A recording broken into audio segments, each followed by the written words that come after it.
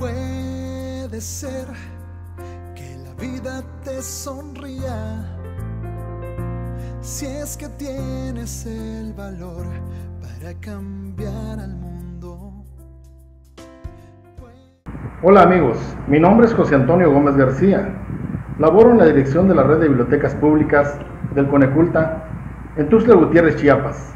Hoy quiero compartir con ustedes, a propósito de viralizar la lectura y conmemorando el Día Mundial de la Paz, el poema Oda a la Paz, cimiento de la felicidad perdurable, del filósofo budista, educador, autor y poeta Daisaku Ikeda.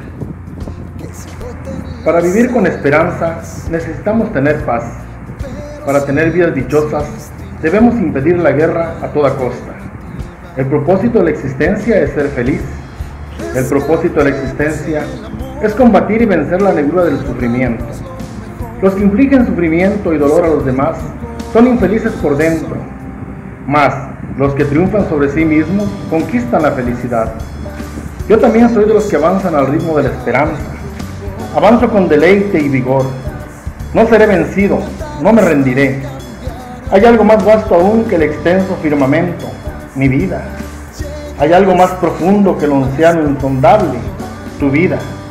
Hay algo más preciado que la opulenta riqueza del orbe infinito, nuestra vida.